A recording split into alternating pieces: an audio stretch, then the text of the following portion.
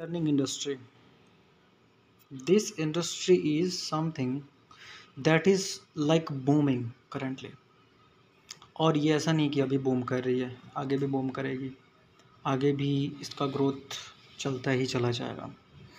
Because because see whatever you want to do you need to learn it from somewhere I mean कुछ भी कुछ भी आप करना चाहते हो तो आपको कहीं से उसको सीखने की ज़रूरत पड़ती है।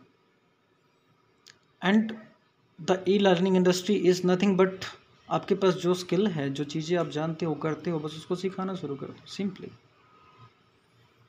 कोर्सेस के फॉर्म में कंसल्टेशन के फॉर्म में, या उसको आप एक फनल का आप रूप दे देते हो. So in all this cases what you are doing is you are teaching someone the thing the skills that you have already that you already have so so, ये एक इंडस्ट्री है जिसमें आपको काम करना चाहिए। आपके पास कोई भी स्किल है कुछ भी। मैं तो एक दिन देख के हैरान रह गया एक अच्छे मॉम डैड कैसे बने? सुबह में जल्दी कैसे उठें?